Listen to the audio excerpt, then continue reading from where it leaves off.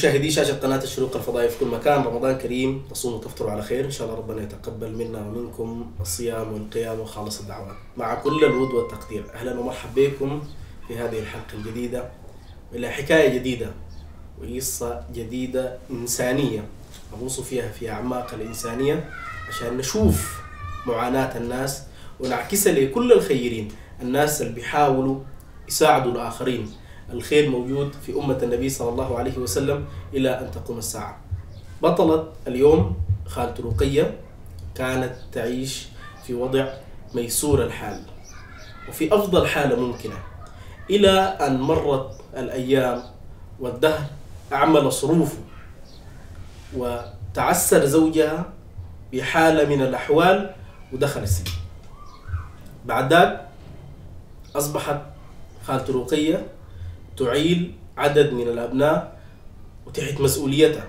على مدار أكثر من عشر سنوات تربي تعيل توفر لقمة العيش الحلال وتقوم بتجهيز كافة الاحتياجات لهؤلاء الأبناء. خالة رقية قامت بعمل بيع الشاي في واحدة من الجامعات السودانية عشان تقدر توفر لقمة العيش الحلال. مع بعض نحن وأنتم نسمع حكاية خالة رقية مرحبا خالة رقية حبابي. الله عشان عيدنا الله يديك الصحة والعافية. أول حاجة أنتوا كنتوا ساكنين وين؟ إحنا كنا ساكنين الحاج يوسف كان عندنا بيت وراجل باع البيت وفي النهاية خش السجن وما لقينا ناس البيت آه، طردونا. بعد طردونا. ساكنين الحاج يوسف بالإيجار هاي باللي جاء بس هنا مؤجرين يلا في زول كده فعل خير اداني بيت مدة ستة سنة هنا دي في؟ هنا في الصالحة جابني قعدني فيه طيب قبل آه. خلينا في في حاج يوسف لسه قبل ما تجي صالحة احكي لنا والله ما كنت أنت كنت شغالة ولا ما كنت لا شغالة؟ لا ما كنت ما شغالة كنت شغالة. كنت ما شغالة. كان شغال زوجي. كان شغال زوجي. كان بيشتغل شنو؟ كان هو شغال في الشركة حقت الطحنية وبقى من الطحنية بقى تجارة. مهم. التجارة هو بقت ال- البيع الكسر ده خش السجن عمل عشر سنة. بسبب شنو؟ بسبب الشيكات والمديونية بقت كثيرة عنده وأنا بقيت ما ألاقي حاجة عشان أكل الشوف عديل وأقريم وكده. آه، ما في زول بيعيني ما في زول بيساعدني. مشيت خشيت الجامعة اشتغلت أبيع الشاي. هاسي بنتي الكبيرة في الجامعة والثاني في الجامعة وعندي واحد أبى القراية. بس شغال كمساري لكن لقيته فات الغريب ما يعرف محل بس. وناس نعمات والله ما قاعدين يقصروا مني مع حسن ولده. والله يدي لك كتب يدوني وناس الجامعة ذاتهم ما قاعدين يقصروا مني. ها لما جيت هنا قعدت جابوني جيت قعدت دوني قعدت مدة ستة سنة. سيد البيت يحتاج لبيت بس والله المهجرين ده بمية ألف بس علينا ثلاثة أشهر والله ما قدرنا نكفيها. والراجل هو مرة يمشي لأخوانه ويجي أخوان ذاتهم ظروفهم صعبة. هو لما لما طلع بعد العشر سنة طلع من 200 طلع قريب ده مهم. 2018 كده تخيل قبال ال- ال- سقوط الحكومة. وبدأ يخش السوق يشتغل هو جاته فجأة كده الزفحة دي ولا هي الجلطة. جاته جلطة. جلطة في الرأس. عملوا عملية في هنا في حراء. حراء هناك في شهر 15 بس. قاعد يتعالج في الحبوب بتاعت الضغط. ما شغال حاجة ما بيقدر يشتغل ما بقدر ولا بيقدر يعمل لي حاجة ولا أي حاجة اللي بيقدر ما بيقدر يشرب. بس الليل عندهم عملية أخوي جساب ومشوا عملية بتاعت بتخطهم كده في مستشفى أحمد قاسم هنا. ودوه ولده لسه من الناس. أنتوا ساكنين في البيت ده بالإيجار. هسه ساكنين بالإيجار والله. علينا ثلاثة شهور سوى الله الإيجار الشهر 100000 مية ألف والله. من 200 ساكنين بالإيجار. ساكنين لنا سي ثلاثة سنة كنا مأجرين بغالي. بس أجرنا هنا بس فكرنا في البيت بس ما تبقينا سنة بس. عندك قلت لي بنتين في الجامعة. عندي بنتين في الجامعة. أولادي كلهم كم؟ ولا- أولادي خمسة. ثلاث ثلاثة بنات وولدين. ولدين آه. في فيهم واحد خلى الدراسة. آه، وبنتين في الجامعة. آه. والباقيين؟ واحدة في المط- في ال- الممتحن الشهادة السنة هسه.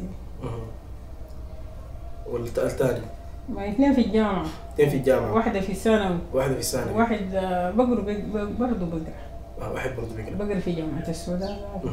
ما شاء الله. و- والتاني تخلى القراية وانت انت براك اللي والله براي قاعد أعين البلد اللي العيشة دي بس لو ناس الجامعة دي وناس حسن دي ما عندنا كسر النعمات دي. في الجامعة كيف عفوا من الرسوم والله قاعدين شنو؟ القروش لكن ناس الجامعة ذاتهم والله بيقول لي بس التلجيجي دي ما قاعدين يحصلوني القروش. لكن حق التسجيل ده لازم أنا أدفعه. يلا حق السنة بقسط لهم حبة حبة. مثلا اللي لقيت خمسة بديها لهم عشرة بديها لهم ما قاعدين يقولوا لي عامل لي يعني حاجة خاصة كده والله ما بيخلوا أولادي يحرموا من الامتحانات. في واحد اسمه دكتور دكتور سامي ده في تاجة والله قاعد يتعامل معي. بعد مرات عندي مين مين جيبه بيسجل لي وأنا برجع له حقه. ما قاعد واحد اسمه علي برضه ما قاعد يتصل معي. لنا كيف اشتغلتي في الجامعة؟ منو جابك منو كلمك؟ والله أنا قلت لك في شايفه النسوان اللي بيشتغلوا. مشيت قدمت ورقي. وعلى ظروف الصغار خليت الشغل الجامعة. جيت شغلت أنا الجامعة مهم.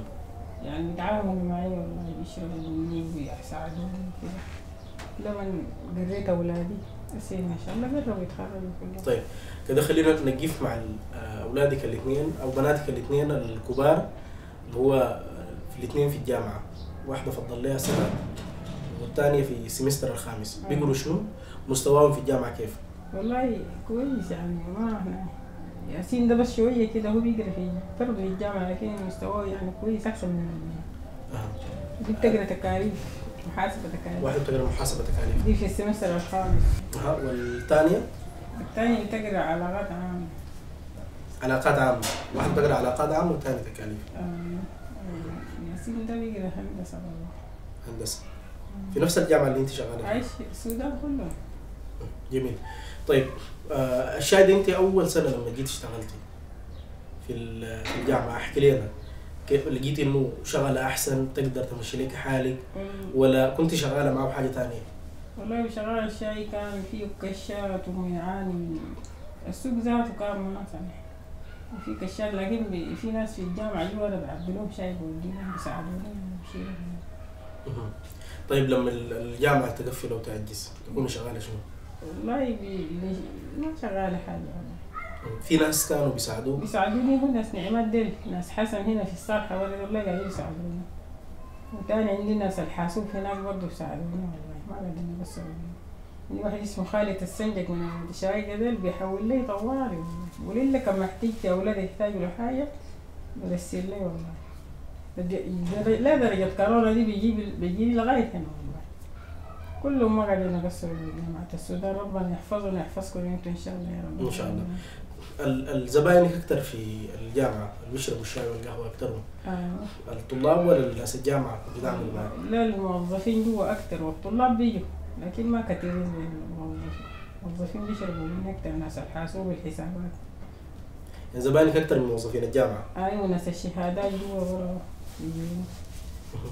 علاقتك كيف مع مع ناس الجامعة مع الطلاب؟ لا لا علاقتي كويسة معهم لا بيحترموني وأنا بحترمهم ما ما في زول قاعد في طلاب قاعدين يجوك بعد ما يتخرجوا بيجوني والله في. ناس سافروا في أمريكا برضه بيرسلوا لي بيسلموا لي بالواتساب مع زملائهم بقول له حج رغي يسلموا علي ما قاعدين ينسوني والله نهائيا دي آه، حالة خالته رقية اللي كانت تعيش ميسورة الحال بعد آه، زوجها بسبب شيكات دخل السجن.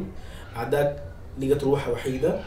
أحد الخيرين أجر لها منزل في الصالحة لمدة ستة سنة ودى لها تسكن عشان تأوي أولادها وهي في رحلة بحث عن عمل لقت فرصة مناسبة جدا في واحدة من الجامعات وقعدت تبيع شاي وعملت علاقات جيدة مع الموظفين تبيع لهم الشاي والقهوة ومع الطلاب. ما شاء الله الآن عندها ثلاثة من الأولاد في الجامعة بنتين واحدة فضل لها سنة واحدة في المستوى الخامس وواحد بيقرأ في الهندسة. وعندها ولد تاني بيقرأ في المدرسة وولد خلى الدراسة. خالته رقية نموذج للمرأة المكافحة اللي قدرت إنها تحقق غاياتها من خلال تحديها للظروف الماثلة لمدة عشر سنوات ويزيد حتى زوجها لما خرج من السجن. خرج وهو مريض ما قادر على إنه يشتغل ولا يعمل أي حاجة. هي ما زالت تكافح وتعمل. ومن خلال وجودها في الجامعة اللي تعمل فيها تبيع الشاي والقهوة كونت علاقات جيدة جدا مع الإدارة ومع الموظفين اللي بيعاملوها بمحبة وتعاملهم باحترام كبير جدا. وبالتالي سهلوا لها مسألة دفع الرسوم بالأقساط المريحة أو حتى ممكن يدفعوها هو ويبقى دين عليها وتسددها لاحقا خالة رقية وانت في رحلة طويلة بدت بالدراسة في شباب خلال الفترة دي من أولادك كانوا في المرحلة الأساسية. وبعد ذاك وصلوا الجامعة. المعاناة اليومية وفي فترات كانت ال ال ال الشغل كان بيكون تعبان. في مرات الإجازة الجامعات بتكون مؤجزة ومقفلة. نحن مرينا فترة طويلة في السودان بظروف كثيرة. مرة خريف ومرة الأحداث السياسية الحاصلة ومرة كورونا. الجامعات كانت بتقفل. أنت كنت بتتصرفي كيف؟ هاي ما قاعد أي حاجة والله بعض مرات ما قاعدين ذاته نلقى وجبة في البيت لكن قلت لك خالد السنجق ده فقدني والله بيحول لي طوالي وعزمي برضه وحسن حسن السنجق ده حسن عبد الباقي ده برضه ما قاعد يقصر والله فقدوني وبيحولوا لي والله والإيجارات الإيجارات دي والله بتكون قاعدة علي في ظهري لما أسوي بيجاي بيجاي أشتغل بهنا وبيمدوني بيجاي بقوم بكفكف الإيجارات أنت بتعرفي تشتغلي شنو غير آه، شغل الشاي والقهوة؟ والله ما بعرف بشتغل أي حاجة مهم. إلا كان أغسل ولا كنيس مطبخ بس. طيب هسي ممكن إذا الخيرين دعموك بمبلغ مالي أو بفكرة مشروع معين ممكن تعملي شنو أنت؟ والله ممكن كان لقيت لي طريقة بعمل لي مطعم تعملي مطعم يعني لو لقيت لي مريد برضه ممكن اشتري ركشة لولدي ممكن يشتغل فيها. لكن خلال كده التجارة ما بعرف فيها ما بتعرف لك كده التجارة لأن الزول يقول لك اديني حاجة بالدين تدين وما يديك قروشك بعدين يدخلك في حساباتنا. لا الأكل ده ما قاعد يعمل لنا مشكلة. ممكن الزول يبيت ما ياكل لكن إيجار البيت ده مشكلة. يعني سيد البيت ما ما ما ما بيسكت على حقه ما يجوط فيك ويشاكلك وكده هسي أنت ثلاثة شهور ما دفعتي مش كده؟ أي والله ثلاثة شهور ما دفعت أصلا هسي عندي سبعين بس خدتها وقلت له الله كريم رمضان ده عندي أخوي ضربت له قلت له لو عندك قروش حول لي قال لي لسه ما صرفت ما عندي لسه. ضربت لي في البيت قلت له يا أخي ليه ده الأسبوع ده يمكن نسدد له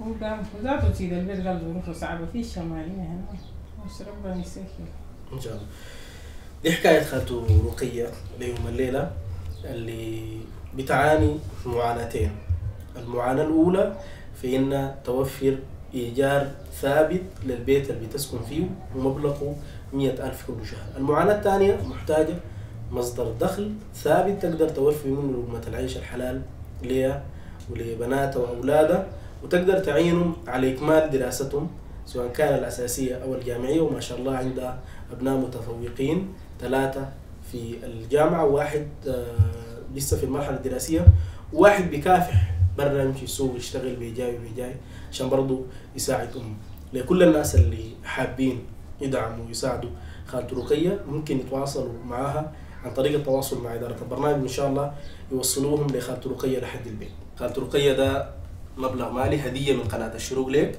عسى ولعل يساعدك ربنا شاء الله. يساعدكم يا رب العالمين وربنا يوفقكم وتصوموا وتفطروا على خير إن شاء الله. إن شاء الله. إن شاء الله المبلغ ده تقدري تعملي بيه حاجة. مشروع صغير أو تقدري آه، تعملي بيه أي تجارة. إن شاء الله. يساعدوك فيها واحد من أولادك عشان تقدري توفري ايجار ثابت إن شاء الله. آه، لسيد البيت. وتقدري توفري بيه مبلغ مالي يساعدك في مصاريف الأولاد وفي مصاريف حياتك. شكرا كتر خيركم ربنا يوفقكم إن شاء الله يا رب العالمين. اللهم آمين. شكرا خالتي العافية وربنا يديكم الفينيتكم إن شاء الله. اللهم آمين يا رب. اللهم آمين. تسلمي يديك العافية يا رب. دي كانت حلقتنا وقصتنا وحكاياتنا الإنسانية اليوم مع كل الود والتقدير لكل المشاهدين والمتابعين ولكل الحالات الإنسانية اللي بتكون معنا في البرنامج. نهاية حلقة اليوم غدا بإذن الله تعالى حلقة جديدة. في أمان الله.